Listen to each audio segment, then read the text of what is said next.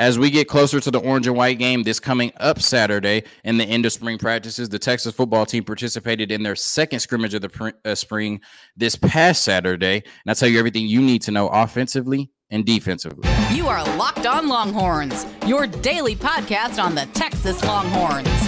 Part of the Locked On Podcast Network, your team every day.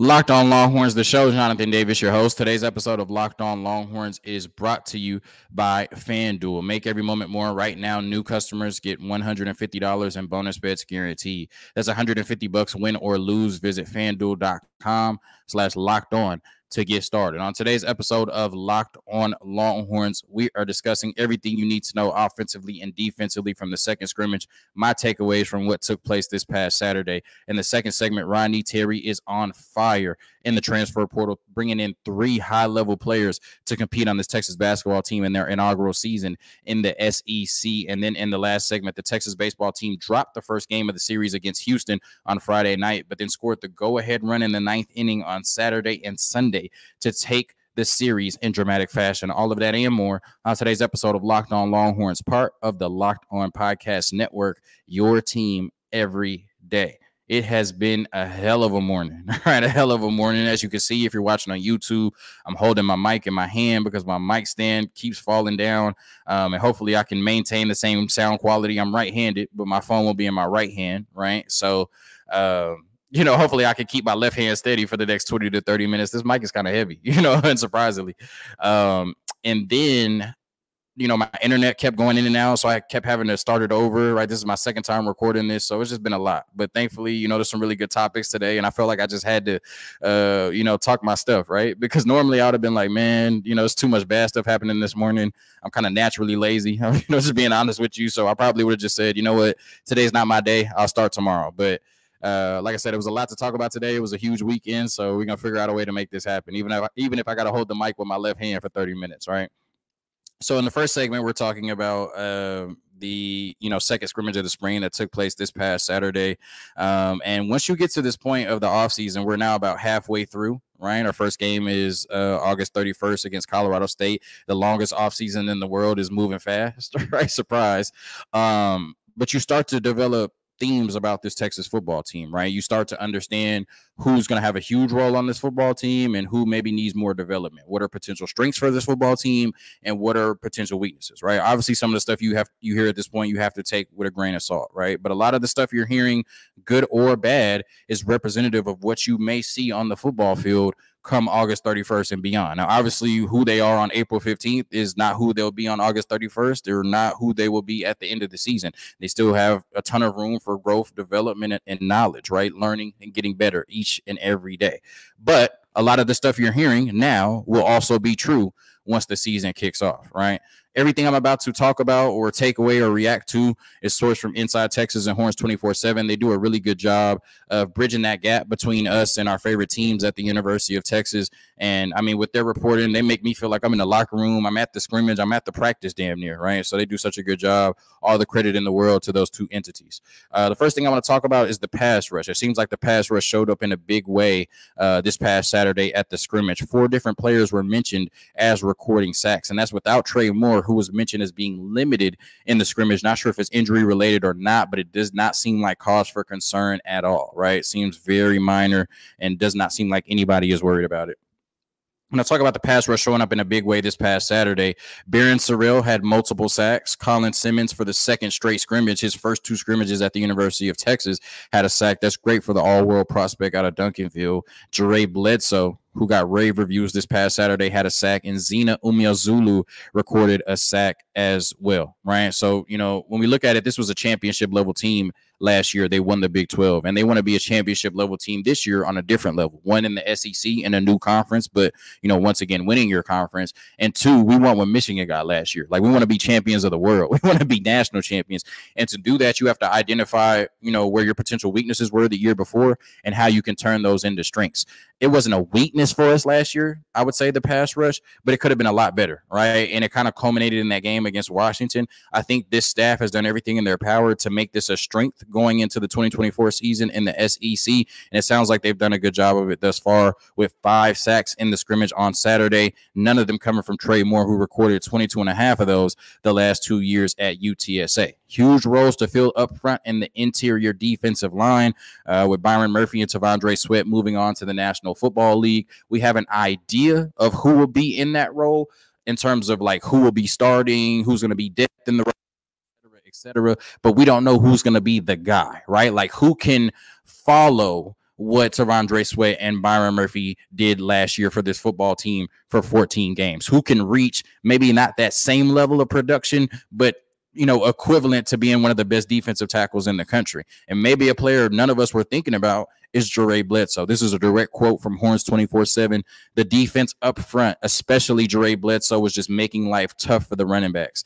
Bledsoe seemed like he was everywhere against the run and the pass. If he can play like that, he'll be in the rotation for sure, right? So right now we have guys in that room Alfred Collins, Vernon Broughton, Sydir Mitchell, Jure Bledsoe, et cetera, et cetera. But we don't know who's going to step up and be the alpha, be the leader, be the guy that offensive coordinators and offenses are scared to, you know, go at in the middle of that defensive line.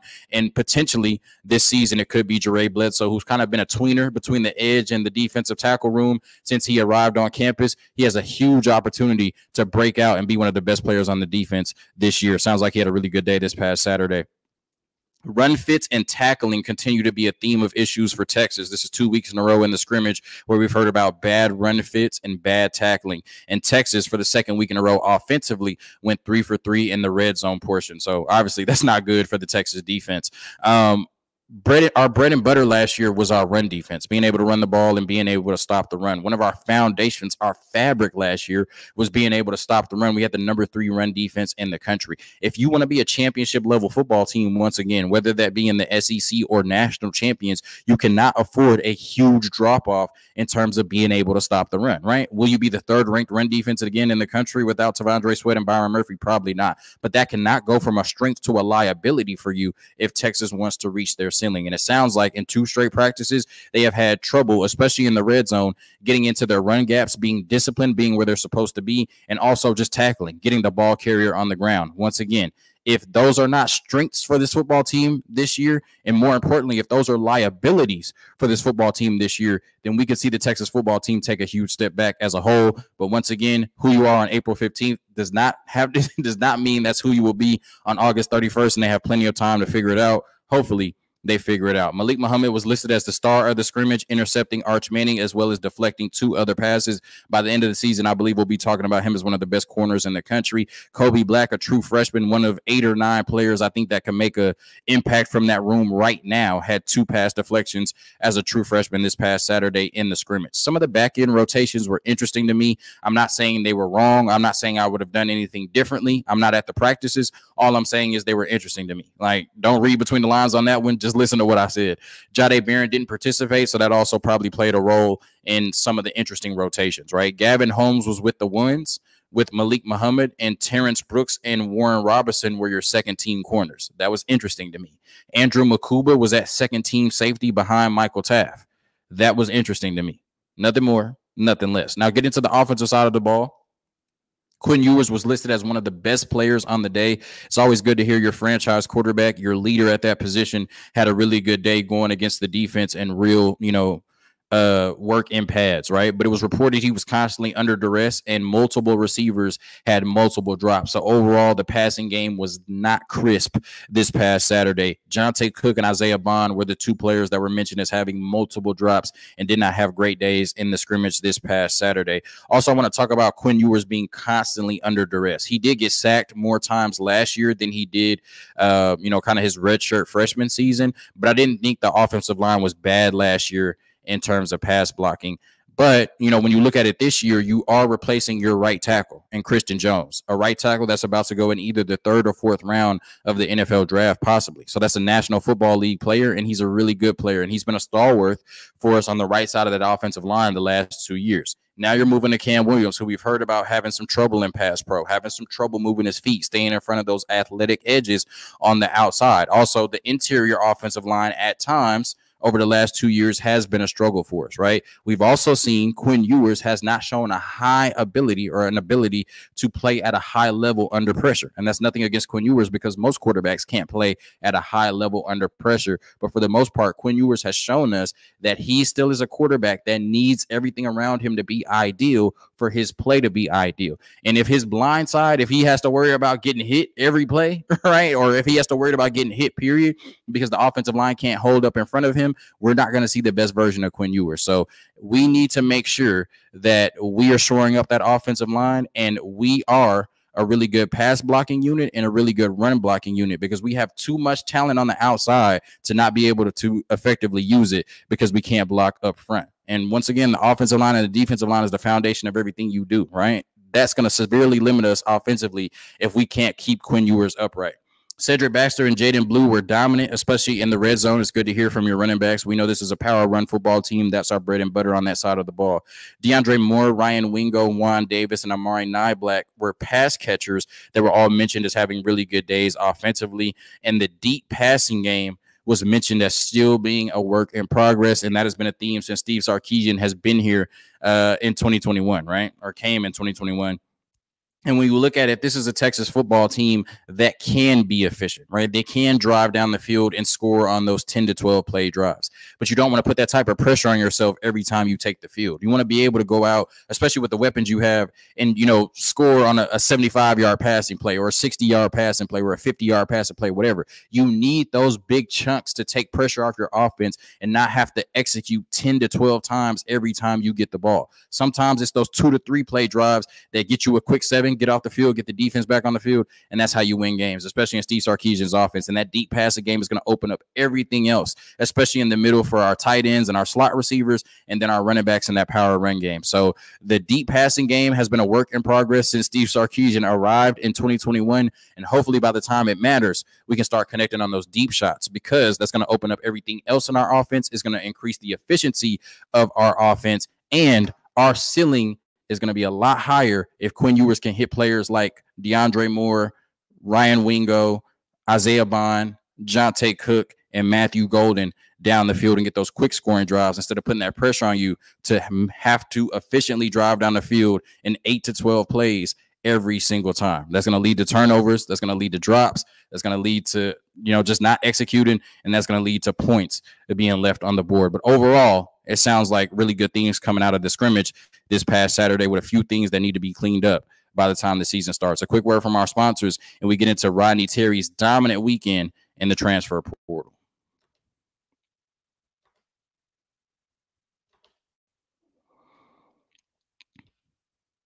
Today's episode of Locked on Longhorns is brought to you by FanDuel. It's playoff time in the National Basketball Association and NHL. Baseball's in full swing, and FanDuel is your place to bet on every game. Right now, new customers get $150 in bonus bets guaranteed. That's 150 bucks win or lose. Bet on everything from slap shots to home runs to slam dunks, all on an app that is safe, secure, and super easy to use. What are you waiting for? Visit fanduel.com slash locked on and make your first bet an automatic win with FanDuel, America's number one Sportsbook.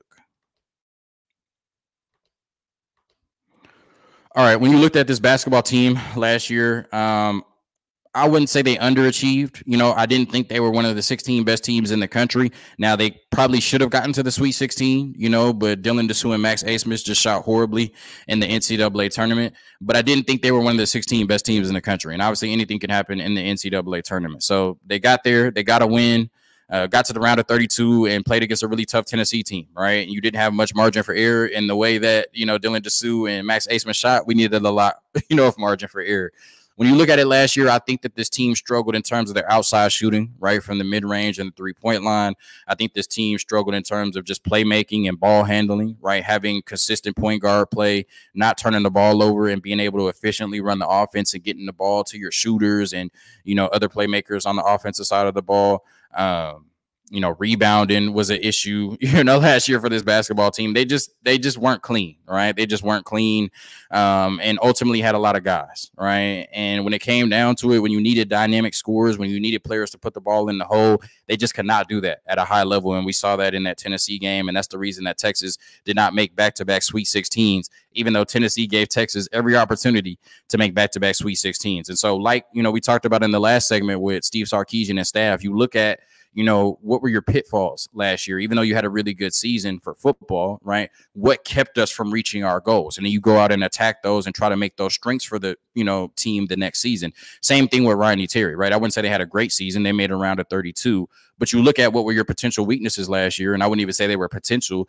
And then you figure out how can I make those strengths going into the 2024 season. I think he did a really good job of that, right? In terms of dynamic scoring being a weakness last year for this basketball team, outside shooting being a weakness for this basketball team last year, playmaking and things of that nature, and really just having high level talented players that can make plays when they needed to, right? Being aggressive and decisive. Those are all things that I think Texas struggled with last year. They did a great job this weekend in bringing in players in the portal that should help that a ton. The first one is Tramon Mark, right? That's what we're going to talk about.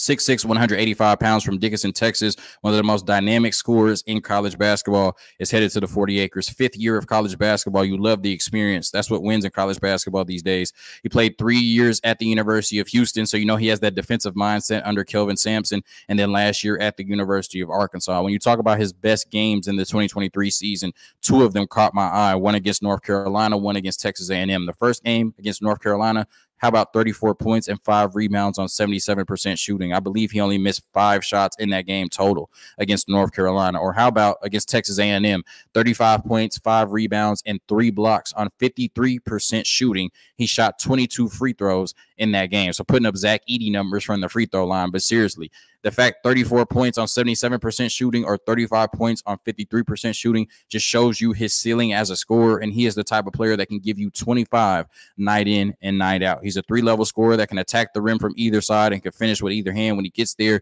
Loves to get to that right elbow for mid range jumpers, right? That's his spot. He can get there and get that shot up with ease at any point, and he's really efficient and good at making it loves to shoot threes from the top of the key, either the left or the right wing. And he was one of the most efficient players in the country in terms of knocking down threes from those spots. He's a great pick and roll ball handler and passer. He had a 12% assist rate last year, but really just has a good feel for the game, right? And that high pick and roll, that high ball screen coming off of it. If he needs to make plays offensively, once again, if he needs to get to a spot, if he needs to take a three, if he needs to get to the rim, or if he needs to make plays for other out of that others out of that high ball screen, either the roller or playmakers on the three point line.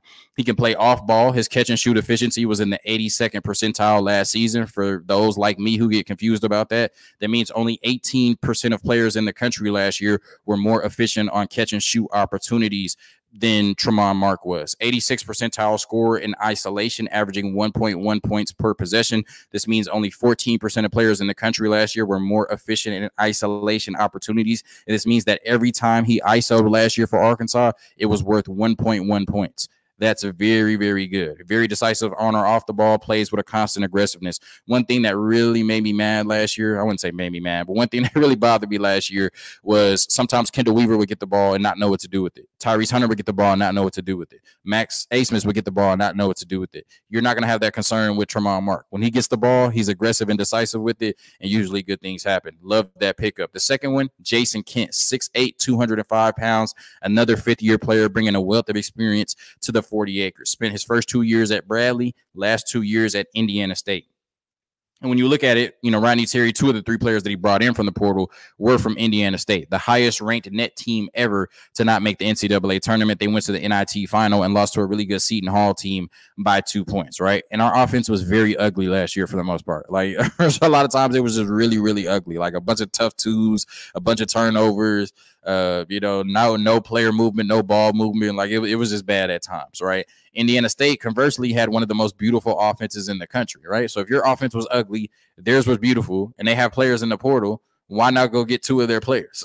right? Like this makes all the sense in the world. Don't overthink it. Our, our, our offense was ugly. Theirs was beautiful. We're gonna go get two of their players, make our offense beautiful, Rodney Terry did a good job of that. One of those being Jayson Kent. His best game last year, ridiculous 35 points and nine rebounds against SMU on just 12 shots. He only missed two, well, he missed one field goal in the game and one free throw. Went 11 and 12 from the line, two for two from the three point line. To show up to a basketball game and give your team 35 points on 12 field goals is insane, right? But that's the type of player he is. That's what you're getting at the 40 acres. Like Dillon Mitchell, he will play primarily in the dunker spot, and the majority of his scoring comes at the rim. But the difference between Dillon Mitchell and Jayson Kent is he has the versatility to space the floor. Dillon Mitchell, in two years at the 40 acres, did not make a three point shot. 70% of Jayson Kent's field goals come at the rim, and 75% of his attempts come directly at the basket. He's an excellent defensive and offensive rebounder, something that Texas struggled in last year. He has an extremely high basketball IQ, especially as a pick and roll screener, right? That's where a lot of his, you know, buckets come from off of the pick and roll, you know, roll into the rim. The major difference is 30% of his field goals come from the three point line, where once again, Dillon Mitchell has yet to make his first three pointer in college. And if he enters the NBA draft, he would never would have made a three pointer in college. As a spot up shooter, he was in the 92nd percentile in the country last year, averaging one two point one point two six points per possession. We're talking about a power forward here at six eight, right? As a spot up shooter, he was in the 92nd percentile, right? So only eight percent of players in the country last year were more efficient in spot up opportunities than our new power forward, Jayson Kent, right? And every time he took a spot up jump shot, it was worth 1.26 points. That is insane, right? Great get in the portal. As a cutter, he was even better. 95th percentile. So only 5% of players in the country were more efficient on cuts than Jayson Kent was last year. He averaged 1.7 points per possession on cuts last year. So essentially, every time he cut, it was worth two points one of the best cutters in the country, and that does so much for your offense in terms of his spacing at the three point line and then being able to cut to the basket and how efficient he is when he gets there. He can get out and run in transition for easy baskets as well. So he can play the small ball five or the traditional four, but most importantly, he provides spacing, and you have to guard him wherever he is on the court. A huge get for Rodney Terry and his Texas basketball team you know, when I think when you look at Dillon Mitchell, he might be the better NBA prospect, you know, whatever that means. But when you look at Jayson Kent, he's certainly the better college player and opens up so much for this offense that Dillon Mitchell just could not. I mean, I remember the BYU game last year, they didn't even guard Dillon Mitchell, right? Like you have to guard Jayson Kent. that just plays a factor. It does. Then Julian Larry, right? The third get from the transfer portal, the second player from Indiana State, a guard, 6'3, 185 pounds from Frisco. So last year we brought Max Abmas back to Texas. We bring Tramon Mark back to Texas. We bring Julian Larry back to Texas. And we know Rodney Terry, right? Nobody has more state pride than that brother right there, right? 6'3, 185 pounds from Frisco. Best game last year. Neither one of these were efficient, but two still two really good games in terms of, you know, the shots he was taking.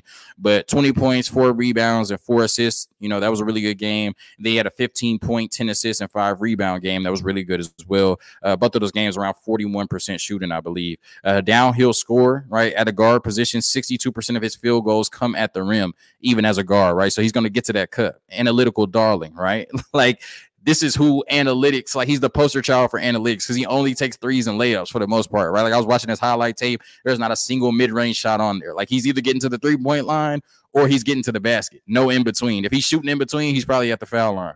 Excellent job driving to the left or the right side and being able to finish with either hand. Uh, excellent passer with a 22% assist rate, averaging four point, you know, three assists last year. So that's something that I think this Texas basketball team needs this year. More consistent playmaking. Shoots over 40% from the left or wing or right wing three point line. He's a 40, I think, four or 45% three point shooter overall, and also boasted 99th percentile catch and shoot efficiency last year, averaging 1.38 points per set points per possession on spot up jumpers. 1.38 points per possession on spot up jumpers. Every time he took a spot up jump shot, it was worth 1.38 points. That's ridiculous. 99th percentile catch and shoot efficiency, which means basically he's damn near the most catch, you know, most efficient catch and shoot player in the country, right? And that's something we lacked last year: the ability to catch and shoot, the ability to be wide open, right? You know, take advantage of the gravity of the defense and knock down open shots, right? He's one of the best in the country, if not the best in the country at that last year. And he plays the passing lanes extremely well on defense as well. So when you look at the three players that Texas brought in in the portal over the weekend, Rodney Terry and staff, they address some of the biggest holes that we had last year. And one of the reasons that the Texas basketball team cannot get past the round of 32 huge additions to this Texas basketball team, huge talent, um, and some players that I think really should take this program to the next level, right? Especially with the addition of the three freshmen, Tre Johnson, uh, Nic Codie, and uh, is Cam. I can't remember his last name right now, but the number one player in South Carolina. This should be a very good Texas basketball team, especially with players like Chendall Weaver and Kadin Shedrick coming back for another year as well. A quick word from our sponsors, and then we get into the dramatic Houston Texas baseball series, Houston and Texas baseball series that ended up with Texas winning the last two games, both by taking the lead in the ninth inning.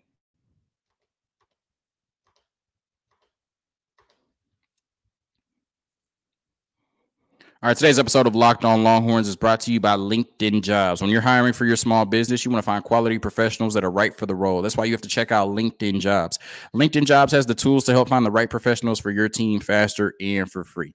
LinkedIn isn't just a job board, LinkedIn helps you hire professionals you can't find anywhere else even those who aren't actively searching for a new job but might be open to the perfect role. In a given month, over 70% of LinkedIn users don't visit other leading job sites. So if you're not looking on LinkedIn, you're looking in the wrong place. On LinkedIn, 86% of small businesses get a qualified candidate within 24 hours. Hire professionals like a professional on LinkedIn. Post your job for free at LinkedIn.com slash locked on college. That's LinkedIn.com slash locked on college to post your job for free. And remember, terms and conditions do apply. All right, getting into the baseball series between Texas and the University of Houston uh, this weekend. You know, even though it was short lived because this was Houston's first year in the Big 12 and Texas last year right in the Big 12. It's good to see these teams who, you know, as rivalry goes back to before I was even born, uh, play a weekend series in baseball. And now Texas is 22 and 15 on the season after two straight victories and taking two out of three against the Houston Cougars over the weekend. It did not start off well on Friday. Texas lost nine to one. By the fourth inning, Houston had a 3 0 lead, uh, coming on a two run homer and a run off of a wild pitch, a 3 0 lead coming on a two run homer and a, a, run off of a wild pitch. I don't know if I said that wrong or not. It's been a long morning. Will Gasparino hit a solo bomb to make it 3 1, but that would conclude the scoring on the day for the Texas Longhorns. Houston would hit three more homers in this game after the fifth inning, ultimately ending with a score of 9 to 1. But on Saturday, Texas was able to bounce back with a 6 to 5 victory. Texas took a 1 0 lead in the first inning, quarter. Oh my gosh. Texas took a 1 0 lead in the first inning, courtesy of some two out magic, two singles and a walk following the first two outs. And then an RBI single and sac fly extended the Texas lead to 3 0 in the second inning. But Houston would get all three of those runs back in the bottom of the third to tie the score at three. Texas would hit two solo bombs in the fifth to take a five to three lead over Houston, but Houston came back with two solo homers of their own in the seventh inning to tie at five to five. So this game was tied 0 0. It was tied 3 3, and then it was tied 5 5. But D. Kennedy hit his second solo homer of the game, this time in the top of the ninth, which would give the Longhorns a 6 to 5 lead and the victory. That was just the first time this weekend that your Texas Longhorns took the go ahead run in the ninth inning. On Sunday, Texas won 13 to 8 to take the series, one of the greatest comebacks you will ever see because Texas trailed by three going into the ninth and ended up winning by five in regulation, which is crazy. They scored eight runs in the ninth inning alone. Ryan Galvin gave Texas a 2 0 lead in the third inning with a two run homer following a double by Gasparino in the third inning once again. The lead was short lived as LBJ gave up a three run homer in the bottom of that inning to give Houston a 3 to 2 lead. Houston would score four runs over the next two innings, extending their lead to seven to two going into the sixth inning. After two RBI doubles and an errant throw over two innings, Texas was able to cut the lead to seven to five going into the bottom of the eighth before Houston added some insurance, hitting a solo homer to make it eight to five going into the top of the ninth inning when the Longhorns were batting. Then the Longhorns would put together a historic top of the ninth to clinch the series. Jared Thomas hit a double after the leadoff hitter failed to reach. So this is crazy. They scored eight runs in the inning, and the leadoff hitter didn't even reach. So Jared Thomas hit a double, and they came around to score after an infield single and wild throw to first, making the score eight to six. Then Peyton Powell not not at the game, tied the game at eight with a two-run home run to make it 8 8, right in the top of the ninth. And then in the very next at bat, Jalin Flores hit a solo homer to give Texas a 9 to 8 lead after a walk. Max Belyeu hit a two run homer to make it 11 to 8. And then the Longhorns would hit three more singles in this game to make it 13 to 8 before closing it out in the bottom of the ninth. And now they will face UT Rio Grande Valley on Tuesday at home. But a game in which it looked like you could lose all three of them to come out of it with a series win, to come out of it with two very clutch wins, taking the go ahead lead in the ninth inning on back to back days on Saturday and Sunday to win a game in which you trail three runs in the ninth inning on Sunday. The second time they've done that this season is just remarkable. It's magical, and hopefully they can build on it throughout the remainder of the season. Thank you for tuning in to another episode of Locked On Longhorns, part of the Locked On Podcast Network, your team every day.